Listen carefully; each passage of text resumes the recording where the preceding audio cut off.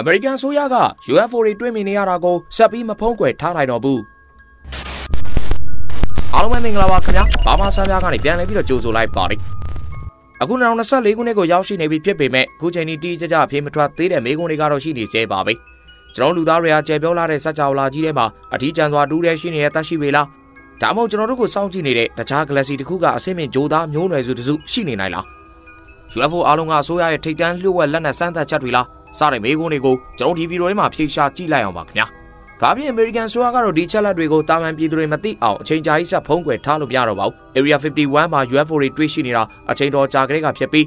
မကြာသေးမီကပဲ Mexico Congress မှာမမ်မီဂျိုသားရုပ်လောင်းတွေကိုပြသခဲ့ပါသေးတယ်။တကဘာလုံးကလည်းစัจ java လာထဲမှာကျွန်တော်တို့ပဲရှိနေတာမဟုတ်ဘူးဆိုတာကိုယုံကြည်ကျင်ကြပါတယ်။အခု Congress လွှတ်တော်ကအတည်ပြုပြဋ္ဌာန်းလိုက်တဲ့ဥပဒေအသစ်မှာပြည်သူလူထုကို UFO တွေကြောင်းတည်ထားသမျှထုတ်ဖော်ပြောကြားဖို့အစိုးရကညွှန်ကြားထားပါတယ်။ 2023ခုနှစ်ဒီဇင်ဘာလ14ရက်နေ့မှာအမည်မသိအန်ဩပွဲလေးချောင်းဖြစ်စဉ်များကိုရှာဖွေဖော်ထုတ်ခြင်းဆိုတဲ့ UAPS ဥပဒေကိုပြဋ္ဌာန်းခဲ့ပါတယ်။ဆိုပါဥပဒေကအမေရိကန်ဆိုရကိုဒီဖြစ်တွေနဲ့ပတ်သက်ပြီးလူသိရှင်ကြားပြောကြားလောင်တိုက်တွန်းကြဖို့ပဲဖြစ်ပါတယ်။ဒီဥပဒေကိုမျှော်မှန်းထားသလောက်လိုက်နာကျင့်သုံးမှုနေပြီး UAP ထုတ်ဖော်မှုအဥပဒေ2023လို့ခေါ်ပါတယ်။ဒီဥပဒေရွယ်ချက်ကအမည်မသိခြင်းတွေအားလုံးရဲ့အကြောင်းကိုသိကြစူးစီးရှင်းလင်းပြလာစေဖို့ဖြစ်ပါတယ်။ဒါပေမဲ့ဝန်နေစရာကောင်းတာကဒီကြိုးပမ်းမှုတစ်ခုလုံးကနောက်ဆုံးတရားဝင်ဥပဒေဖြစ်ကိုရောက်ရှိမသွားနိုင်ခဲ့ပါဘူး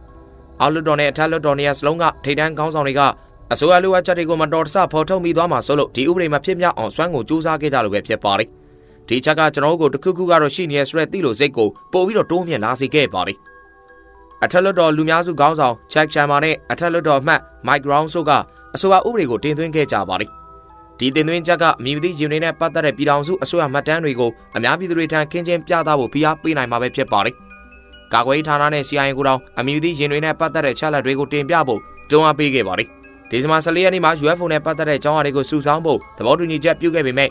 အစိုးရကဒီချက်လက်တွေကိုထုတ်ဝေဖို့25နှစ်ကြာရွှေ့ဆိုင်းထားနိုင်ပါတယ်။ဒီကိစ္စနဲ့ပတ်သက်ပြီးတော့သမရခန့်ထားတဲ့ CCA ဘုတ်ဖွဲ့မရှိတော့ပါဘူး။ဒါကပြည်သူတွေကို UAP နဲ့ပတ်သက်တဲ့ချက်လက်တွေကိုရအောင်သုံးစွဲခွင့်ရှိမရှိဆိုတာမရှင်းမလင်းဖြစ်နေပြီးဒီစ조사မှုရဲ့အကျိုးရလဒ်တွေကို25နှစ်ကြာစောင့်ရနိုင်ခြေရှိပါတယ်။ အဲနောက်ပိုင်းမှာတော့မှအမေရိကန်မျိုးသားလုံခြုံရေးကိုချိန်ချောက်လာနိုင်တယ်ဆိုတဲ့အကြောင်းပြချက်နဲ့ဆက်ပြီးတော့လျှို့ဝှက်ထားနိုင်ပါတယ်။ပြောရရင်တော့တော်တော်အကျဉ်းပုတ်တဲ့ကောင်းတွေပါပဲခင်ဗျာ။ဒါကမြည်မသိရှင်တွေနဲ့ပတ်သက်ပြီးစိတ်ဝင်စားနေကြတဲ့လူတွေကိုတော်လေးနေမတိထိုင်မသာဖြစ်စေခဲ့ပါတယ်။ဒေကြတာကအမေရိကန်ဆိုရဟာကျွန်တော်တို့ကိုချပြတဲ့ချက်လက်တွေထက် UFO တွေအကြောင်းကိုအများကြီးပိုတည်ထားပြီး UFO စူးစမ်းလေ့လာရေးဂျိုသားသင်းမောတွေရှာဖွေရေးနဲ့ကာကွယ်ရေးတံမြန်စီစဉ်တွေအတွက်လျှို့ဝှက်ဖွဲ့စည်းတစ်ခုရှိနေမှာပဲဖြစ်ပါတယ်။